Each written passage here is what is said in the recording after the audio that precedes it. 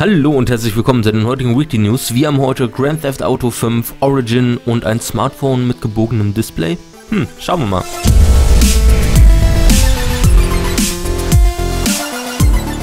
Ja, Grand Theft Auto 5 ist jetzt für die meisten Konsolenspieler ein großes Thema gewesen oder ist immer noch ein großes Thema.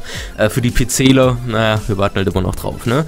Jetzt äh, wurde äh, von Intel äh, gesagt, äh, GTA 5 wird demnächst bestimmt für PC rauskommen, wahrscheinlich auch schon bald. Ähm, und zwar gehen die davon aus, aus dem Grund, weil sie vermuten, dass Microsoft und Sony ähm, die Rechte für ähm, Grand Theft Auto 5 gekauft haben, damit das Spiel erstmal konsolenexklusiv wird, damit äh, die natürlich Geld verdienen. Ne?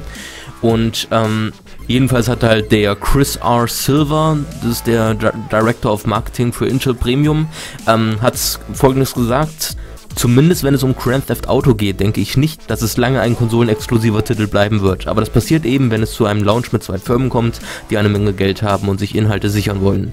Irgendjemand hat eine Menge Geld bezahlt, damit der Titel exklusiv bleibt. Jedenfalls geht Intel halt davon aus, dass äh, Grand Theft Auto definitiv für den PC kommen wird, weil das halt ein richtiger finanzieller Verlust sein würde äh, seiten Rockstar Games, wenn sie das nicht machen würden. Er meinte dazu noch, wenn man sich einen Umsatz anschaut, der auf dem PC generiert wird, das sind mehr als 10 Milliarden jedes Jahr. Also Rockstar wäre ziemlich blöd, wenn sie es nicht machen würden. Und ich glaube, mittlerweile gehen wir eh alle davon aus, dass das früher oder später auf PC kommen wird. Ich persönlich sehe da auch keinen Grund, warum es nicht kommen sollte. Aber das haben wir ja schon so oft besprochen, kommen wir mal zum nächsten Thema. Ja, die Spieleplattform Origin äh, von EA hat jetzt oder hat schon damals 20. August äh, eine äh, Zufriedenheitsgarantie aufgestellt, aber noch nicht für Deutschland. Und das ging halt so weit, dass man seine Spiele in einem gewissen Rahmen zurückgeben konnte. Ähm, jetzt ist das auch für Deutschland äh, verfügbar. Es hat Origins jetzt endlich gemacht und ähm, das funktioniert folgendermaßen. Äh, ich zitiere mal EA. Du kannst digitale Downloads vollständiger EA-Spiele bei PC oder Mac, äh, die du bei Origin gekauft hast, gegen volle Erstattung des Kaufpreises zurückgeben und zwar innerhalb von 24 Stunden, nachdem du das Spiel zum ersten Mal gestartet hast oder innerhalb von sieben Tagen nach dem Kaufdatum beziehungsweise bei einer Vorbestellung innerhalb von sieben Tagen nach dem Veröffentlichungsdatum des Spiels, je nachdem welcher Zeitpunkt früher liegt. Dies gilt zusätzlich zu deinen normalen Rückgabe- und Erstattungsrechten ja, die Funktion kann man da unter Bestellverlauf finden und ähm, also in deinem Account kannst du da reingehen, Bestellverlauf und dann kannst du es zurückgeben. Wie gesagt, wurde eben erklärt wie. Und es kann dafür allerdings bis zu 10 Tage dauern, bis sowas erstattet wird, aber es funktioniert. Ich finde das schon mal ganz in Ordnung.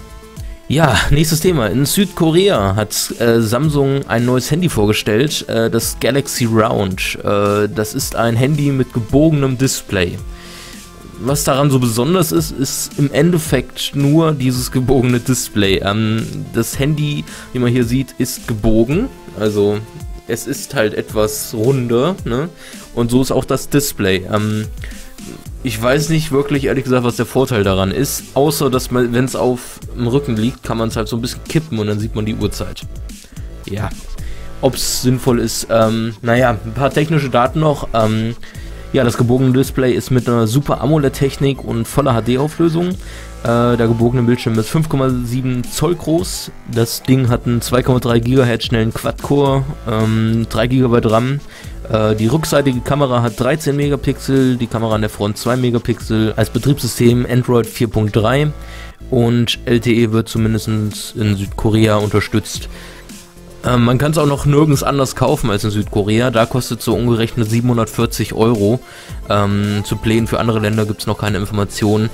Ob das im Endeffekt wirklich notwendig ist, so ein Handy zu haben, weiß man nicht. Äh, naja, muss jeder für sich selber wissen, wenn es hier mal rauskommen sollte. Und naja, das war's für die Weekly News. Ähm, ich hoffe, es hat euch gefallen. Ihr könnt ja natürlich Kommentare hinterlassen, äh, wenn ihr noch ein paar Sachen habt, die ihr loswerden wollt zu den Themen oder halt auch nicht. Ja, dann danke fürs Zuschauen, haut rein, lasst knacken und bis dahin. Ciao.